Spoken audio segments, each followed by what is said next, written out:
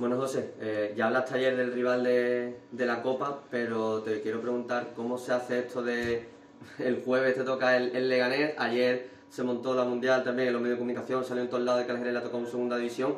¿Cómo se hace para afrontar ahora el partido del domingo? Ahora hay que olvidarse de la Copa hasta el 1 de diciembre. Bueno, realmente estamos centrados en lo que realmente ahora mismo es importante, que es la liga. Y aunque ayer estuvimos la tarde juntos viendo los sorteos, porque bueno, al final es algo nuestro y algo que, que, es bonito vivirlo juntos, además cuando es la primera vez para, para el club. Eh, pero realmente sabemos ya, bueno, hoy tenemos las pilas puestas otra vez toda la atención y concentración puesta en el partido que nos toca de liga, ¿no? En el Don Benito. Y así hemos hecho, ¿no? Y hemos vuelto a las sesiones de entrenamiento habituales y, y planteando, preparando y mentalizados en encarar el partido eh, con, toda, con toda la concentración y atención que se debe. ¿Cómo ha llevado la semana el equipo después de la derrota y sobre todo por la forma en la que se produjo? Bueno, pues evidentemente pues fastidiados al principio de semana, eh, con esa rabia de, bueno, de no poder haber conseguido remontar un partido en el cual la segunda parte estuvimos a la altura y generamos las ocasiones suficientes para conseguir algo positivo, intentando bueno pues ir perfilando todos esos pasitos que tenemos que ir mejorando y dando para volver a, esa esencia que tuvimos durante mucho tiempo y que sabemos que que podemos llegar a, volver a, transmitir y en eso estamos centrados, ¿no? En intentar pues volver a ser lo que éramos hace unas semanas y que eso, bueno, que nos haga sentirnos poderosos en Chapín y con la ayuda de nuestra afición pues volver lo antes posible a la senda de la victoria. ¿Qué te esperas del Don Benito que lleva siete partidos sin perder, viene de ganarle 4-1 al Vélez? Juan Carlos Gómez, que conoce también al Deportivo Fútbol Club, enfrentarse a él hace dos, tres temporadas, si no me equivoco. Eh, ¿Qué te esperas del equipo extremeño? Bueno, pues equipo que, como tú dices, crecido, porque venimos, somos de equipo que venimos en, dinámicas dispares, muy, muy diferenciadas a día de hoy. Y bueno, intentaremos que cambie, ¿no? Eh, para ambos eh, esta semana. Nosotros nos podemos poner todo, toda la carne en el asador para que así sea intentar pues, aprovechar también ese plus de, de, de, nuestra, de nuestro ambiente, de nuestra gente, de apoyarnos en estos momentos difíciles para todos, en el cual somos los primeros que queremos intentar salir antes posible y los primeros perjudicados y los primeros responsables. Y para eso necesitamos bueno, pues ese plus también motivacional de la grada, que siempre lo da y que necesitamos ahora más que nunca. Y el Don Benito pues vendrá a hacer su partido, a, también ser dominador de la situación, se sienten poderosos, se sienten eh, crecidos con esa línea positiva, pero bueno, tenemos que intentar es superarlos pese a ello, ¿no? Y sabiendo que nosotros también cuando hacemos las cosas bien somos un equipo muy poderoso, muy, muy constante en campo rival y es lo que vamos a intentar buscar. El equipo nunca había perdido tantos partidos seguidos, nunca, tampoco.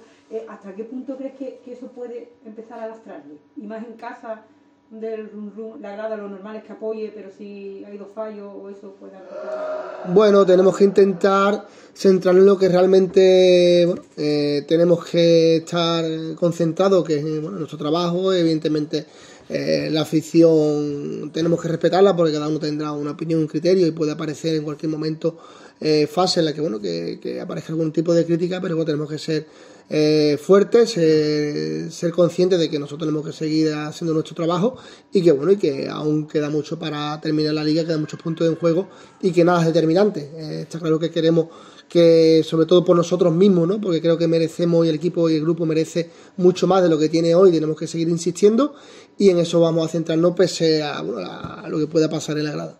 Te quería preguntar sobre las bajas, José. Raúl Palma un mes, imagino que no vuelva a jugar hasta enero porque queda un mes de competición. Eh, también por el golpe de Mayo, cómo está, y sobre Marcelo, porque le vi el otro día, el miércoles, si no me equivoco, entrenando con total normalidad, saber si ya está para este fin de semana o lo vaya a reservar para Canarias o para Copa, no sé. Bueno, pues el... Perdón. El tema de Raúl, bueno, ya sabemos que tiene una rotura de, fibra en aductor y le va a tener varias semanas fuera de, de los entrenamientos en campo el tema de Mayor, pues esta semana ha ido eh, en declive y bueno, y tenemos que hacer diversas pruebas porque el lunes se entra con el grupo, pero a partir del miércoles ha ido empeorando y estamos en la espera de los resultados.